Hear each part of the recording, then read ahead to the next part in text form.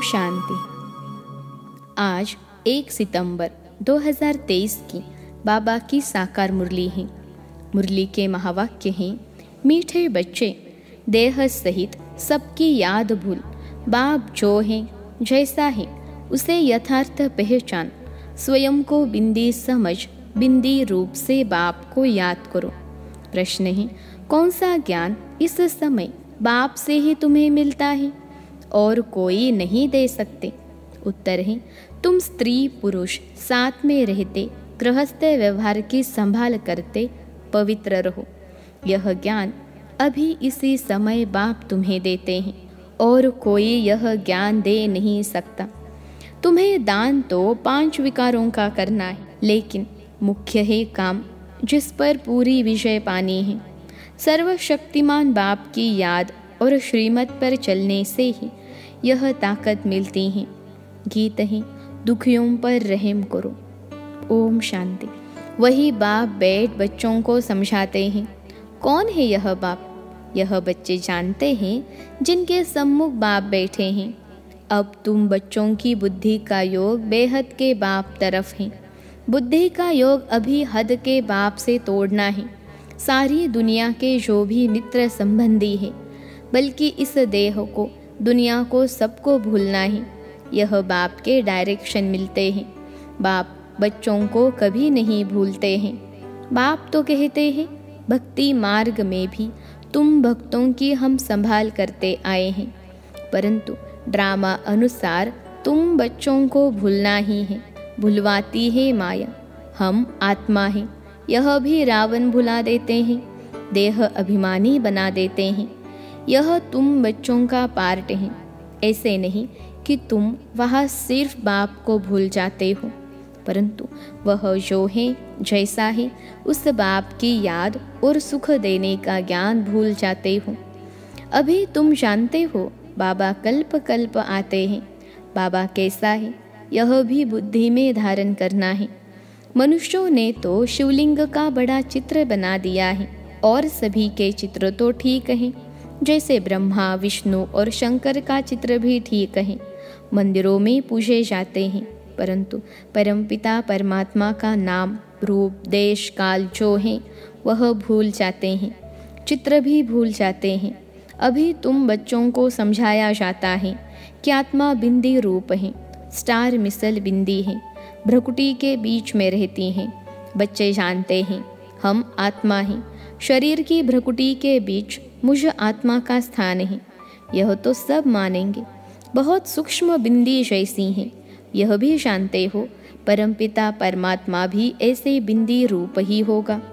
खुद आकर समझाते हैं, मैं भी बिंदी हूँ, परंतु मनुष्यों ने बड़ा रूप ज्योतिर्लिंगम बना दिया है। जैसे बुद्ध का भी बड़ा लंबा चौड़ा रूप बनाते हैं। पांडवों के शरीर भी भक्ति मार्ग में बहुत लंबे बनाते हैं। भक्ति मार्ग में लंबे चित्र होते हैं। ज्ञान मार्ग में छोटी चीज़ होती हैं। परमात्मा कहते हैं, मैं बिंदी हूँ। कहाँ कहाँ बहुत बड़ा लिंग भी रखते हैं। नहीं तो बिंदी की पूजा कैसे हो सके? पूजा तो ज़रूर बड़ी चीज़ की होगी ना। तुमको अभी बिंदी रूप समझाया है। इन बातों को मनुष्य तो समझ न सके। तुम बच्चों को भी पहले यह समझ नहीं थी। अभी जब परिपक्व अवस्था हुई है तो समझते हो, यह तो यथार्थ बात है। अगर शुरू से लेकर बाबा भी समझाते तो हम समझ नहीं सकते, क्योंकि बिंदी कोई चीज़ तो है नहीं। हम मानते नहीं। परंपरा से शिवलिंग कहा जाता। यह फिर क्या है? तो बाप समझाते हैं कि वह भी रोंग है। मैं जो तुम्हारा बाप हूँ, मैं बिंदी हूँ। तुम्हारा भी बिंदी रूप है। परंतु पूजा के लिए बड़ा शिवलिंग बनाते हैं। आत्माओं का रूप भी सालीग्राम बनाते हैं, परंतु ऐसे है नहीं। आत्मा इतनी बड़ी हो नहीं सकती।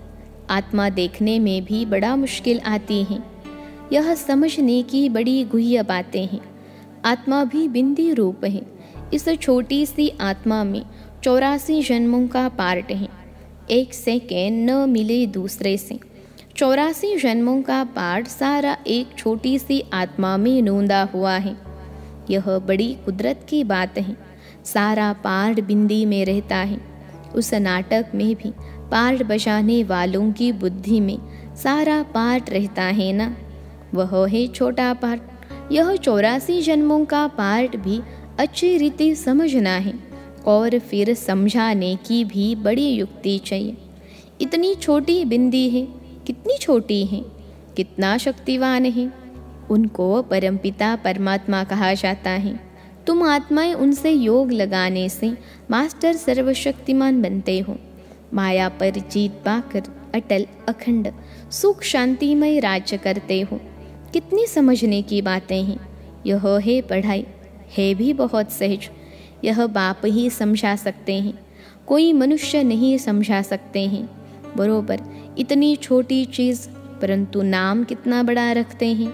ज्ञान का सागर, तुम कहते हो, मनुष्य सृष्टि का विश्वरूप चैतन्य है, सत्य है, अविनाशी है। कहते आए हैं, परंतु किसकी बुद्धि में नहीं आता है? वह क्या वस्तु है? गुण तो बहुत अथाह गाते हैं। अभी तुम बच्चे बाप के सम्मुख बैठे हो, जान गए हो। आत्माएँ तो सम्मुख ही हैं। सब आत्माएँ ब्रदर्स ही हैं। कितनी छोटी छोटी बिंदी हैं, विचार करो। मूल वतन का हम जो चित्र बनाते हैं, उसमें बिंदी का रूप ही दिखाते हैं। जैसे स्टार्स आकाश तत्व में ऊपर खड़े हैं, वैसे ही महतत्व में भी हम ऐसे स्टार माफिक अपने अपने सेक्शन में खड़े हैं। झाड़ छोटे छोटे स्टार्स का बना हुआ है, वहाँ से फिर आत्मा आती है। शरीर धारण करती हैं पार्ट बजाने लिए। कैसे नंबरवार आत्माएँ आती हैं, यह सारी बुद्धि चलनी चाहिए। हर एक धर्म का सेक्शन अलग होगा। बाप दृष्टांत दे समझाते हैं बनेन ट्री का भी मिसाल समझाते हैं। हिंदी बहुत जगह चलती है तो बच्चों को हिंदी भाषा में समझाना पड़ेगा। परमपिता परमात्मा भी हिंदी भाषा में ही समझाते हैं।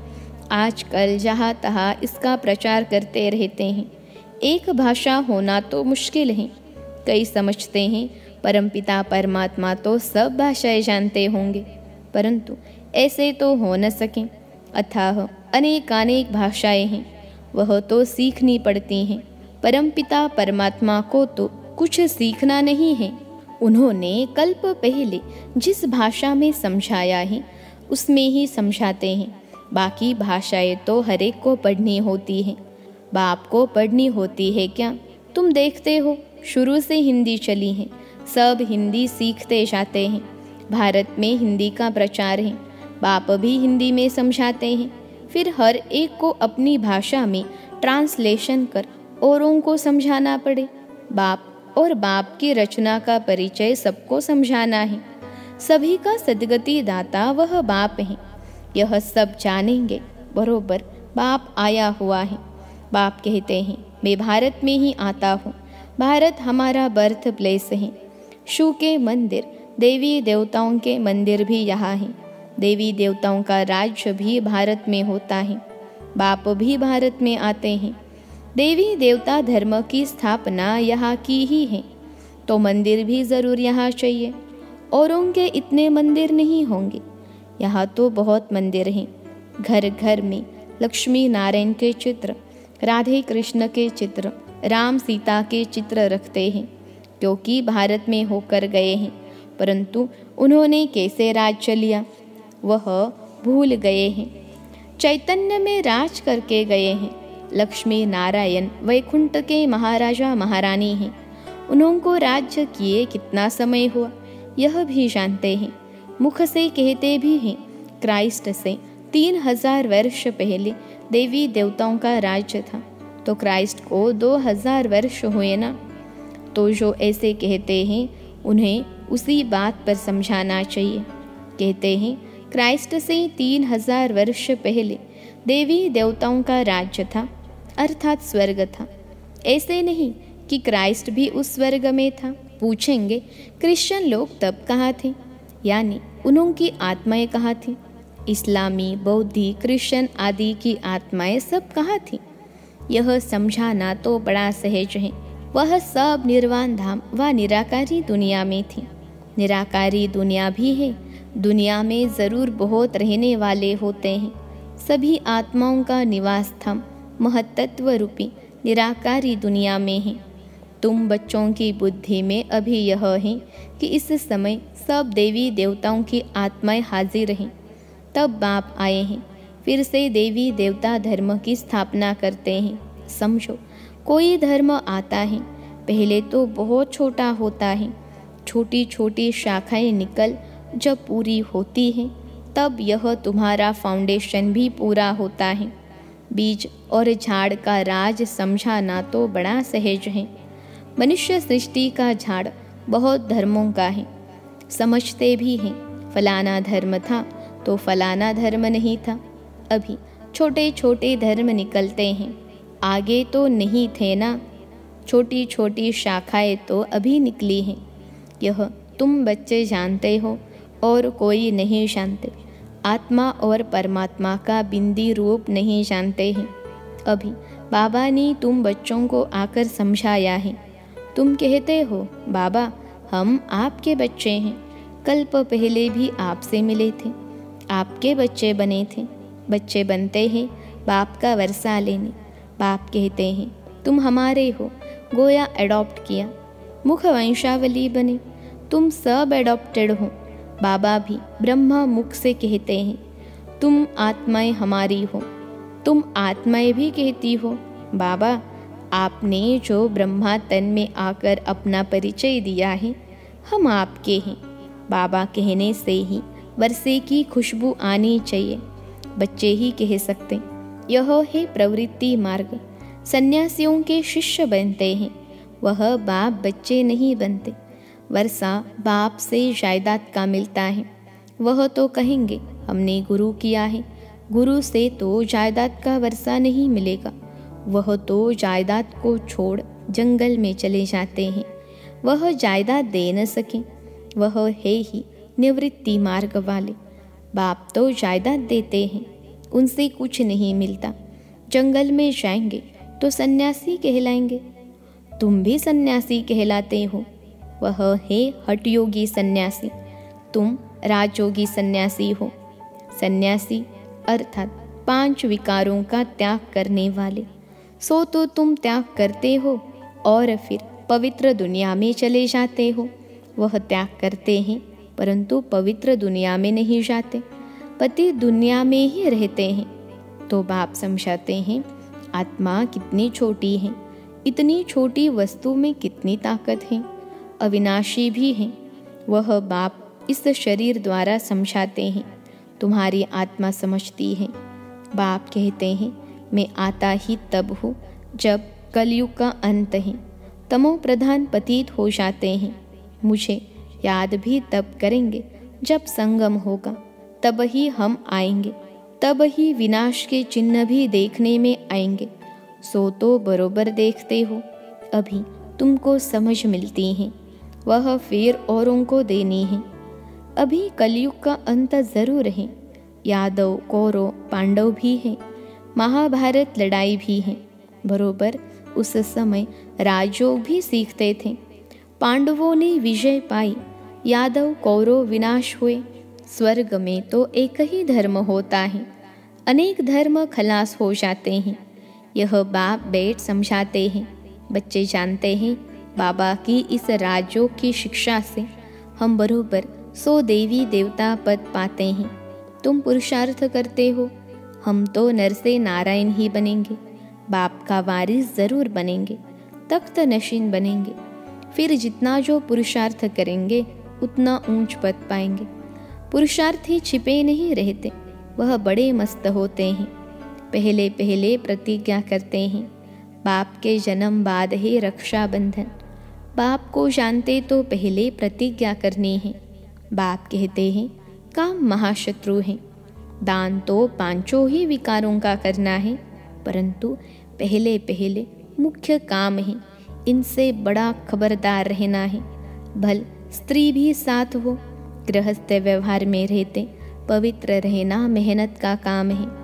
सर्वशक्तिमान बाप को याद करने और उनके श्रीमत पर चलने से ताकत मिलती है। बाप का फरमान है, साथ में रहते इकट्ठे रहते पवित्र रहना है आगे तो स्त्री पुरुष इकट्ठे रहने से आग लगती थी। बाप कहते हैं, इकट्ठे रहो, परंतु आग न लगे। अच्छा मीठे मीठे सिखिलते बच्चों प्रति माता पिता बाप दादा का याद प्यार और गुड मॉर्निंग। रूहानी बाप की रूहानी बच्चों को नमस्ते। हम रूहानी बच्चों की सिखिलते रूहानी माता पिता बाप दादा को याद प्यार, गुड मॉर्निंग और नमस्ते बाबा, नमस्ते। धारणा के लिए मुख्य सार, पहली पॉइंट है। दिल से बाप को याद कर, जायदाद की खुशी में रहना है। पूरा पावन ज़रूर बनना है। दूसरी पॉइंट है, विचार करना है। आत्मा कितनी छोटी है और उसमें कितना अविनाशी पार्ट नूंदा हुआ है। बिंदु बन, बिंदु बाप के याद में रहना है। आज का वरदान है स्व इच्छा और दृढ़ संकल्प से। एक देकर पदम लेने वाले चतुर सुजान भव, स्व इच्छा और दृढ़ संकल्प से। एक देकर पदम लेने वाले चतुर सुजान भव, विश्लेषण है। चतुर सुजान बच्चे, मिट्टी से भरे हुए सूखे चावल देकर एक का पदम गुना भाग्य बना लेते हैं। सिर्फ़ चावल देते और रिटर्न में सर्व शक्तियाँ सर्व खजाने, छत्तीस प्रकार से भी ज़्यादा वैरायटी ले लेते। परंतु कई बच्चे वह भी देने के समय सुदामा के मिसल, कच्छ, यानी बगल में छिपा कर रखते हैं। बाप खींच कर ले सकते हैं, लेकिन खींच कर लिया तो उसका रिटर्न इतना नहीं मिलेगा। इसलिए स्व इच्छा और दृढ़ संकल्प से एक देकर पदम लेना। यही चतुराई है। इस देने में ही कल्याण है। आज का स्लोगन है, साक्षी बन, न्यारे होकर, हर खेल को देखने वाले ही साक्षी दृष्टा है। साक्षी बन, न्यारे होकर, हर खेल को देखने वाले ही साक्षी दृष्टा है। अच्छा ओम शांति।